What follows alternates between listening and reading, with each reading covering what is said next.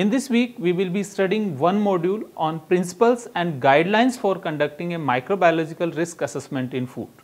The primary objective of this module is to provide basic information regarding need and procedure for assessing microbiological risk in food. I hope you will enjoy this module.